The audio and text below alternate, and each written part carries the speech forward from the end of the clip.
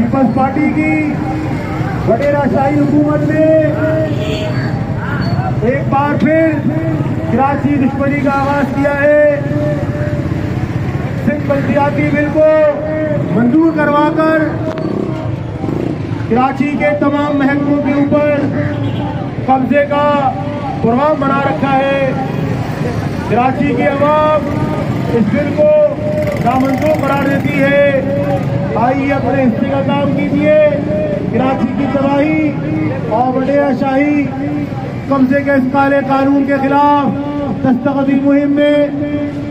दस्तखत करते जाइए, अपना हिस्सा डालिए, ताकि इस बात को हम ये समझ सके, ऐलान कर सके कि कराची के अवाम इस बिल को नामंजूर करार देती है। अपना हिस्सा डालिए।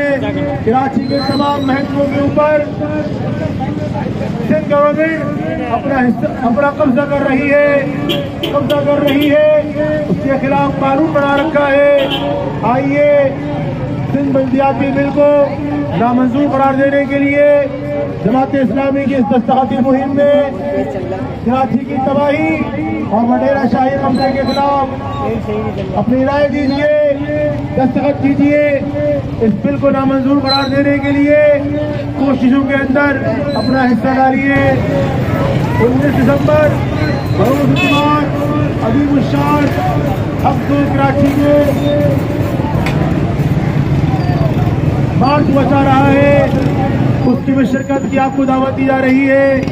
आइए, दस्तखती मुहिम में अपनी राय दीजिए, दस्तखत कीजिए और इस काले कानून के खिलाफ अपनी राय देती जाइए।